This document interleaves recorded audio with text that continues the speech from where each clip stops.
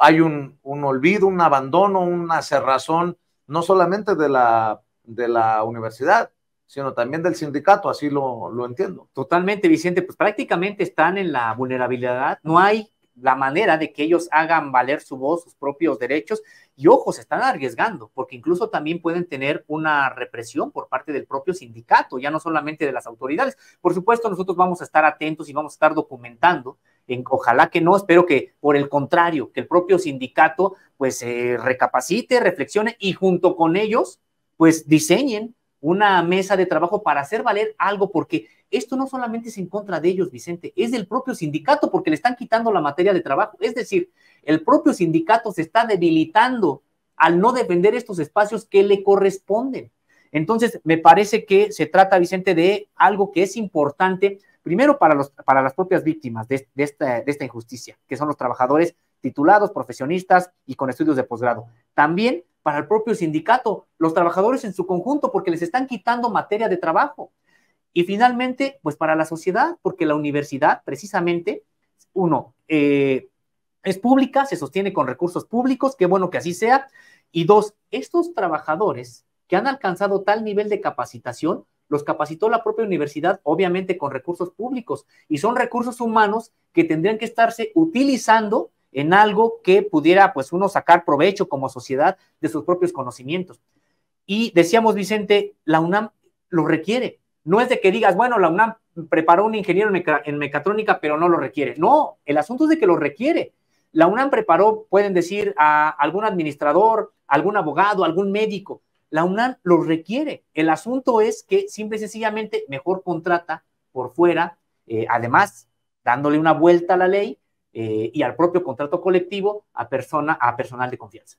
Eh, pues Graue ya se va o ya se fue y el, y, que venga tendrá que definir si le entra o no le entra. ¿Ves luz en ese túnel? Entendiendo que estamos hablando de la posibilidad de una continuidad de, del camino que tomó Graue a la derecha, en la derechización de la UNAM. ¿Ves algo ahí? se ve muy complicado, Vicente. Realmente es triste y es muy complicado porque eh, es muy difícil que realmente se rompa con esta hegemonía de estos grupos. Son cinco grupos.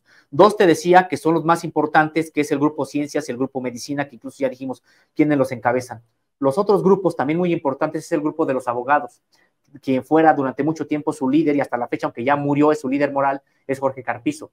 Pero ahí está Diego Valadez, ahí está Jorge Madrazo, Cuellar, es decir, todo ese tipo de, de, personajes eh, que son del propio viejo sistema político mexicano, salinistas, muchos de ellos, eh, pues son parte del grupo de abogados también que tienen un poder importante en la universidad. El otro es el grupo de ingeniería, el grupo de ingenieros, quien también, bueno, pues eh, está ahí, quien fuera el secretario de Comunicaciones y Transportes, ahorita se me va el nombre, ahorita, ahorita lo recuerdo, pero es decir, son grupos de poder al interior de la Universidad Nacional Autónoma de México que no sueltan los órganos de gobierno.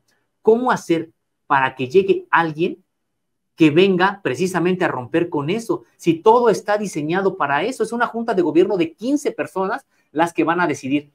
Hablando de la junta de gobierno, ayer publicaron un comunicado, ¿no? Lanzaron un comunicado, dice, perdón que te interrumpa, a la comunidad universitaria, la junta de gobierno informa que las personas que entregaron documentos y cumplen con los requisitos de acuerdo con la convocatoria del pasado 21 de agosto del año en curso son en orden alfabético las siguientes. La doctora Laura Susana Costa Torres, el doctor Sergio Manuel Alcocer Martínez de Castro, el doctor Luis Agustín Álvarez y Casa Longoria, el doctor Raúl Juan Contreras Bustamante, el maestro Jorge Alfredo Cuellar Ordaz, la doctora Patricia Dolores Dávila Aranda, el doctor Germán Fajardo Dolci, el doctor Héctor Irán Hernández Bringas, el doctor William Henry Lee Alardín, el doctor Leonardo Lomelí Vanegas, la doctora María Esperanza Martínez Romero, el doctor Daniel Trejo Medina, el doctor Imanol Ordorica Sacristán, la doctora Guadalupe Valencia García, el doctor Ambrosio Francisco Javier Velasco Gómez, la doctora Luz del Carmen Alicia Vilchis Esquivel y el doctor Domingo Alberto Vital Díaz. Dicen que los documentos recibidos están a disposición de la comunidad en la página de la Junta de Gobierno. El contenido de dichos documentos es responsabilidad exclusiva de quienes los entregaron y firma precisamente la Junta de Gobierno en Ciudad Universitaria con la fecha de ayer. Yo insisto, y entre esos nombres hay algo que nos mueva un poquito a la izquierda o no. No, sí, de manera muy clara está el caso de Manuel Ordorica. Son 17 los que ha dicho la Junta de Gobierno, la mayoría son parte del propio grupo, de, incluso del propio Graue. Ahí está al, eh, Ali, Alardín, está por ejemplo Álvarez y Casa, eh, Vanegas, eh, es decir, son personajes que han estado en las últimas administraciones ahí, en los, en los propios gabinetes, por llamarlo de alguna manera, de los rectores en turno ya desde hace tiempo, son parte de la casta dorada y que son ellos de manera muy desafortunada los que tienen representación en la Junta de Gobierno. En el caso de Imanol Ordorica es una candidatura muy interesante.